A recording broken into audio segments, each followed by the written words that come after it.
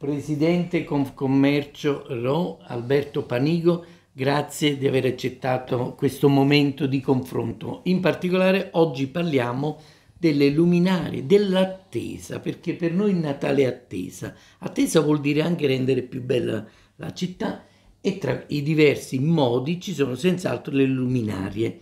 Il, lo stato dell'arte a Rho.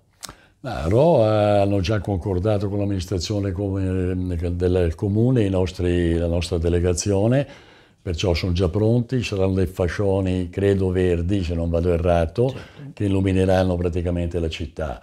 Abbiamo anche la Inate che è già pronta con le luci, anche Cornaredo se non vado errato e altri comuni che seguono. Eh, stiamo allargando praticamente in tutti i comuni di appartenenza che sono in questo cartello qua. Certo, diciamo che oggi un po' eh, tutti ci stiamo conducendo ad un Natale più sobrio, senza togliere il sapore della festa. E un po' queste, anche la scelta di Ro, la scelta un po' di questi festoni, un po' il verde. Vero, vero, vero. Ovvio che, eh, visto la situazione energetica che abbiamo oggi, il risparmio è, diciamo, è, è d'obbligo.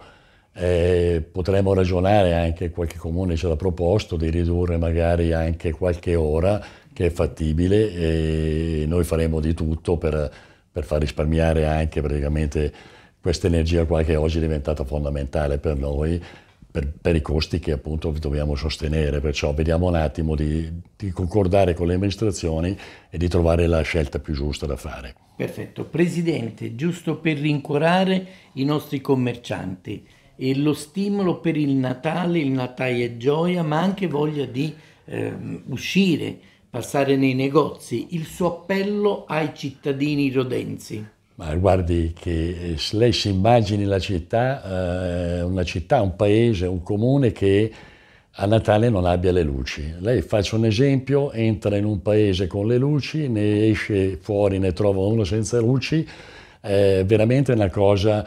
Natale è Natale, è una, è una festa importantissima e vanno coinvolti tutti, perciò non è pensabile di rimanere senza illuminazione, senza luci di Natale che già solo le luci danno la, la festività della, della, della festa, dell'importanza di questa festa.